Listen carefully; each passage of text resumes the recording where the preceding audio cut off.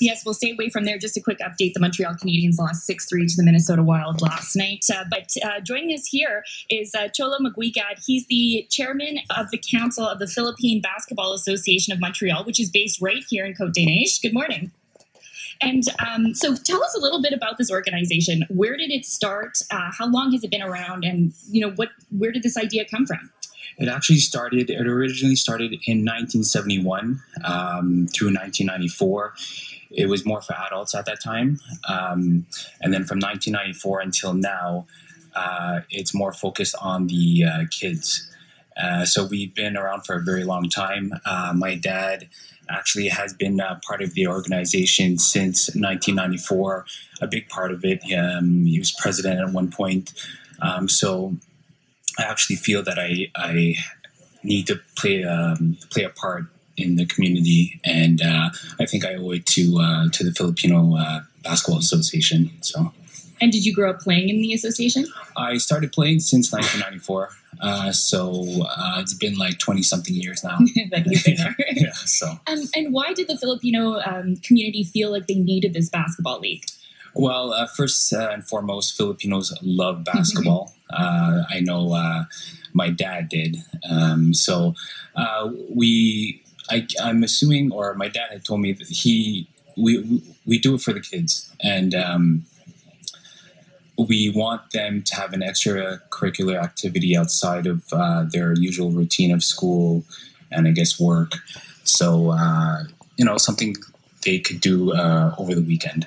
So, who's your favorite basketball team then? Uh, my favorite basketball team is the Boston Celtics. Uh, my dad had uh, had influenced me on that team uh, since the 80s. So you didn't really have a choice. You had to become a Celtics fan. Exactly, yes, yes. and why did you choose to have it based here in Cote Neiges? Well, uh, the majority of Filipinos uh, live in Cote Neiges. Um, actually, a lot of the newcomers that uh, come here to live from the Philippines, uh, most of them um, come here to Cote uh, to live, and then they uh, move out onwards to, I guess, to the suburbs and such. So, uh, although we do have a big uh, Filipino community in the West Island, the South Shore, etc. Do a lot of them come back to Cote Neiges to participate in this league? Yes, a lot of them do. Um, we do have organizations in the West Island and the South Shore that uh, come here to play. Actually, our um, our main gyms are based. Uh, one of them is based around the corner here at Gatineau Gym, um, and the other one is uh, in front of Plamondon Metro. Uh, well, I call it the Shad Complex mm-hmm. just because I grew up in the 90s and that's where. Um, that's what it was known. Yeah, that's what it was known as. So. Can I ask a question about um, hockey? Does the community get into hockey at all? Hockey, I know a couple of people that do play hockey. Uh, obviously, not as much as basketball. Uh, basketball. Yeah, uh, why? Obviously, uh, because um, in back in the Philippines, I mean, we don't we, don't, we, don't, we don't have not much ice. not much ice so uh, the go-to sport is is basketball. It's probably a bit cheaper too, I guess. Yeah, yeah, exactly. a little bit more accessible, we should say. Yes. And just how competitive does this league get?